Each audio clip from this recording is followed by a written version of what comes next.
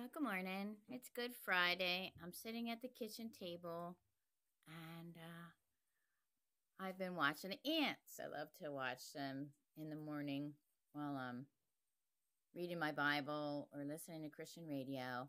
And I wanted you to see right here in the middle, there's a group of ants kind of balled together. And one ant is determined to carry this other ant around. She's been carrying this ant back and forth. I don't see any movement, so I think the ant is dead. But she keeps taking her over to the side. And I think she's putting her in one of the tube holes. And then she brings her back out again. Or another ant does when I'm not looking. But all of a sudden they disappear. And then a couple minutes later, I see the, an, an ant carrying this dead body around.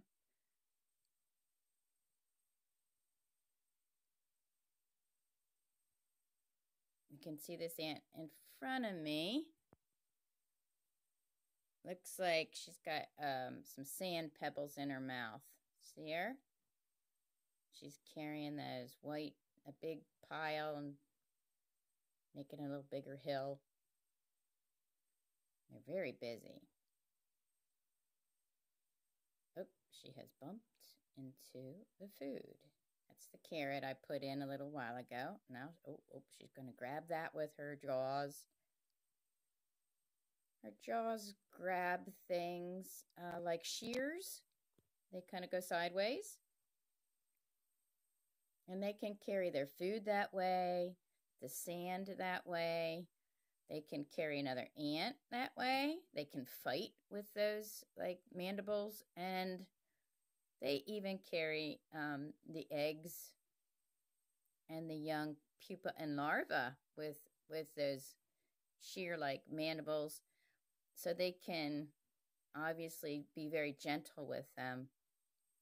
I'm intrigued by that Ant City book saying that they have a beard. So I'm going to try and look up what an ant's beard looks like.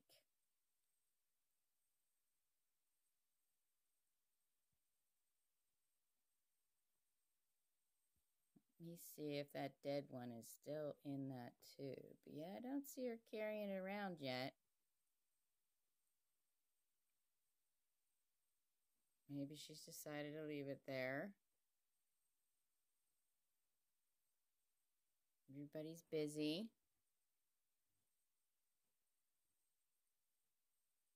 There's another one on the top here. I don't know if that one's alive. Just kind of laying there. She looks kind of upside down, sideways, something. So she might be have died.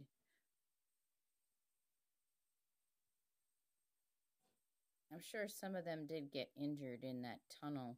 My not tunnel, like a funnel funnel event, and they were getting squished in that funnel. But most of them seem okay.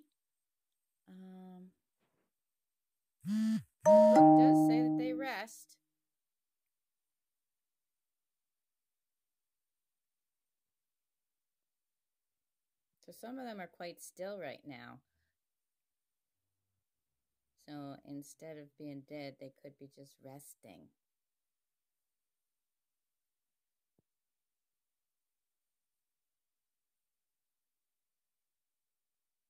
Yeah. I'm so excited about this ant farm. I hope you're enjoying some of the videos too. God bless your Good Friday. Remember that Jesus died for you. Bye bye.